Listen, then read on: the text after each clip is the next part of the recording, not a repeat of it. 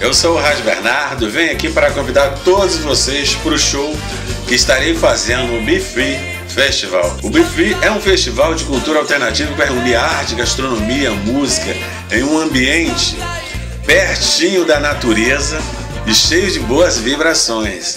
Confere as programações nas redes sociais e vem ser livre com a gente. Vem! Be Free Festival, 24 e 25 de março em Tapes. Garanta seu ingresso em www.lagoatv.com barra meu ingresso.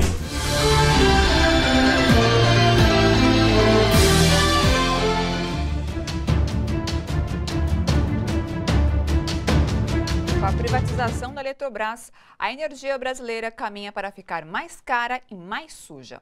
Segundo especialistas e trabalhadores do setor, a proposta do governo Temer prevê, além da entrega do sistema ao capital internacional, a alteração nas leis que podem levar a um futuro insustentável para o Brasil. Segundo o Ministério de Minas e Energia, 70% de toda a energia produzida atualmente no país tem origem no setor hidroelétrico, o Brasil detém assim a liderança mundial em energia limpa. O custo também é um dos mais baixos, situação que contrasta com a China, maior consumidor de energia do planeta, mas que produz 60% com base no carvão mineral em termoelétricas, a chamada energia suja, sistema que vem crescendo por aqui por causa das últimas crises hídricas. Segundo o engenheiro eletricista da Eletronorte, e diretor do Sindicato dos Urbanitários, Ícaro Chaves. Nova versão do texto para a reforma da Previdência, proposta pelo governo no final de janeiro, não diminui o impacto sobre a perda de direitos do trabalhador. Para especialistas, o texto não corrige distorções, é apenas mais uma manobra para tentar conseguir votos e aprovar a medida.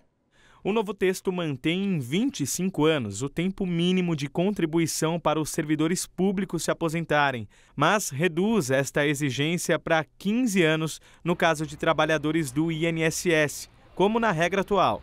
Porém, com este tempo de contribuição, o valor do benefício será de apenas 60%. Só com 40 anos de contribuição, o beneficiário terá direito a 100% do valor. A idade mínima para aposentadoria também foi mantida no novo texto: 65 anos para homens e 62 anos para mulheres. Professores podem se aposentar aos 60 anos e policiais aos 55. Isso vale tanto para os homens quanto para as mulheres.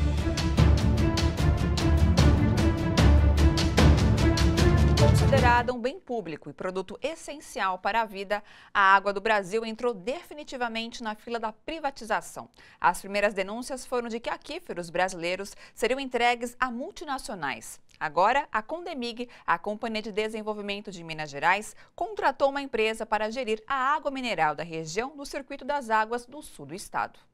A proposta da Companhia Mineira de Parceria Público-Privada na exploração das águas minerais de Cambuquira e Caxambu causou revolta e indignação da população das duas cidades, que teme a superexploração e o esgotamento das reservas hidrominerais. O exemplo vem da vizinha São Lourenço, onde o Parque das Águas, explorado pela iniciativa privada há 25 anos, teve duas fontes esgotadas, motivando investigação do Ministério Público sobre como a exploração comercial da água tem prejudicado as fontes. Nós temos o entendimento que o, a fiscalização tem sido pouca, né? o Ministério Público muitas vezes não tem se demonstrado eficaz na hora de penalizar, de punir, de multar essas empresas para que não ocorra o que aconteceu em São Lourenço. Essas e outras notícias você confere no nosso site www.lagoatv.com.